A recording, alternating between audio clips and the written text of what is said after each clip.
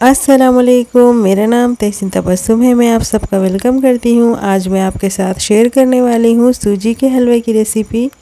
बहुत ही ज़्यादा सॉफ्ट और मज़ेदार बनता है हलवा तो चलिए फ्रेंड्स बनाते हैं। यहाँ पर मैं एक बर्तन ले ली, अच्छे से गर्म होने के बाद बर्तन हम इसमें डाल देंगे दो बड़े चम्मच घी। तो देसी घी का इस्तेमाल कर रही हूँ मैं और थोड़ा सा कम ही इस्तेमाल कर रही हूँ। तो एक कप हम सूजी ले लेंगे। तो असल जो हलवा बनता है ना, एक कप सूजी के लिए एक कप घी का इस्तेमाल होता है तो मैं यहाँ पर कम ही घी इस्तेमाल कर रही हूँ।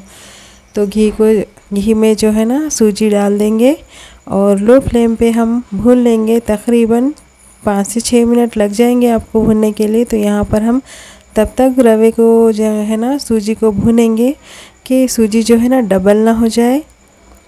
तो थोड़ा सा कलर चेंज हो जाएगा। भूनते भूनते ऐसे ही तो लो फ्लेम पे ही हम भूनेंगे। चम्मच चलाते रहेंगे। तो पाँच से छः मिनट हो चुके हैं फ्रेंड्स ये देखिए सूजी जो है ना डबल हो चुकी है। अच्छे से पक चुकी है सूजी। तो अब हम इसमें डाल लेंगे पानी। तो जिस कप से मैं रवा ली थी, उसी कप से मैं तीन कप पानी डाल रही हूँ। ये सही मेज़रमेंट है। तो मैं यहाँ पर बता रही हूँ सॉफ्ट सूजी का हलवा बनकर तैयार होगा। तो हम पानी डालने के बाद अच्छे से मिला लेंगे ताकि सूजी की जो है ना गाठे ना पड़े। तो अच्छे से मिला लेंगे लो फ्लेम पे ही। अब मैं इसमें डाल रही हूँ फ़ूड कलर ज़ाफ़रानी ऑप्शनल है, अगर आपको पसंद है तो डालिएगा, वरना स्किप कर दीजिएगा, ताकि हलवा जो है ना देखने में भी अच्छा लगता है तो मैं इसके लिए डाली। तो यहाँ पर मिला लेंगे। अब मैं इसमें डाल रही हूँ इलायची पाउडर, जो शक्कर के साथ मैं पीसी थी तो इलायची के दाने जो है ना रह गए वैसे ही। ये देखिए ऊपर आ गए हैं। मिला लेंगे ऐसे ही। अच्छी लगता है इलायची का फ्लेवर हलवे में। कुछ सेकंड्स के लिए हम ढक के पकाएँगे तो आप देख रहे हैं, रवा जो है ना अच्छे से पक चुका है। तो अब हम इसमें डाल देंगे एक एक कप शक्कर। शक्कर आप कम भी कर सकते हैं या तो ज़्यादा भी, आप ज़्यादा मीठा खाते हैं तो बढ़ा भी सकते हैं। ये अपनी पसंद के मुताबिक, अपने टेस्ट के मुताबिक आप शक्कर ले सकते हैं। तो हम शक्कर डालने के बाद अच्छे से मिला लेंगे। लो फ्लेम पे ही पकाना है, ये अच्छे से याद रखें। फिर से जो है ना, हमारी जो सूजी है, वो एकदम से पतला हो चुका है, आप देख सकते हैं। तो फिर पकाएँगे।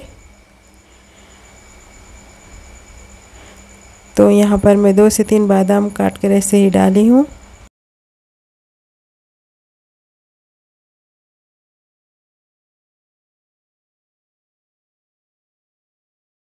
तो ढक के पकाएँगे फ्रेंड्स, एक से डेढ़ मिनट के लिए। तो ये देखिए, सूजी का जो हलवा है, वो बनकर तैयार है अभी। आप देख सकते हैं कितना अच्छा बना हुआ है। तो और ऐसे ही हम एक मिनट पका लेंगे। अगर आपको ड्राई फ्रूट्स डालना है तो आपकी पसंद से कौन से भी ड्राई फ्रूट्स लेकर घी में फ्राई करके डाल सकते हैं। बगैर ड्राई फ्रूट्स के भी जो है ना, बहुत ही मज़े का बनता है हलवा। तो यहाँ पर मेरे पास पाँच से छः बादाम थे तो मैं उसी का इस्तेमाल कर रही हूँ इसमें। आपकी पसंद के मुताबिक कौन से भी ड्राई फ्रूट्स आप डाल सकते हैं। तो अभी देख सकते हैं आप कितना अच्छा बनकर तैयार हुआ है सूजी का हलवा।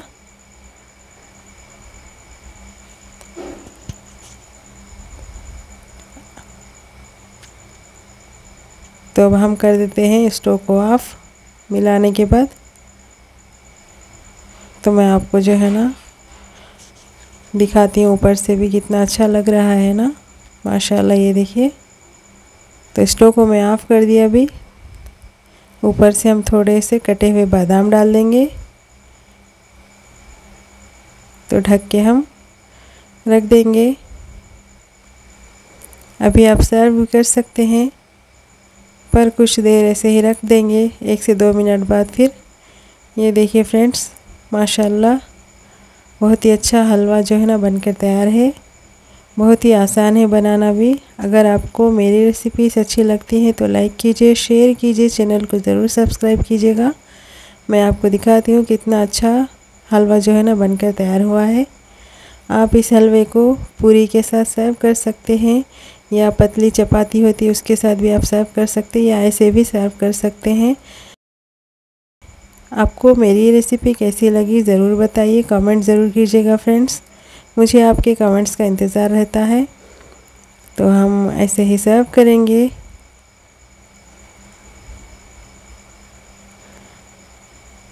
वीडियो अच्छी लगी तो लाइक कीजिए शेयर कीजिए। अल्लाह हाफिज़।